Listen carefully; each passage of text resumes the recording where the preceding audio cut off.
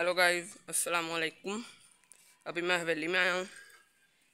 तो ये पट्टे डाल रहे थे यहाँ पे, क्योंकि ख़त्म हुए पड़े थे। ये देखें, अभी सारी भैंसें बाहर से खा के आ रही हैं। तो खुलियाँ खाली थी। इसकी वजह से अभी जब पट्टे डाल रहे हैं इनको, ये यहाँ पे एक ये एक वो उस तरफ़ खा रही है। दो ये खड़ी हुई हैं, यहाँ खा रही और दो ये खा रही हैं। अभी वो उधर गाय को डाल रहे हैं। और ये इनके बच्चे भी मैं आपको दिखाता हूँ। एक ये तो काफ़ी बड़ा हो गया है। और तीन ये हैं। ये भी पट्टे नहीं खाते सिर्फ़ दूध पीते हैं। और एक ये वाली भैंस है जो जो ये वाली ये खड़ी हुई। ये आजकल में बच्चा दे देगी ये भी। ये देखें, ये भी एक दो दिनों में बच्चा दे देगी।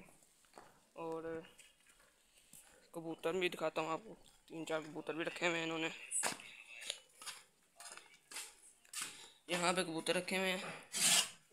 इसको साइड पे करके यहाँ पे दिखा देता हूँ मैं। ये देखें एक ये,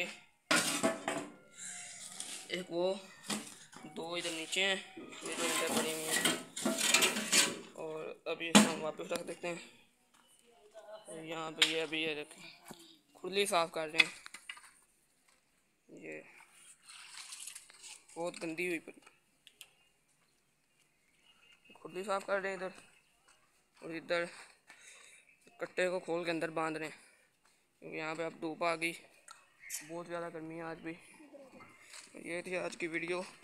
ये देखें, ये बछड़ा उम्मीद है आपको अच्छी लगी होगी। अच्छा लगी है तो मेरे चैनल को सब्सक्राइब कर दें। बेल आइकन ऑन कर दें। Bye bye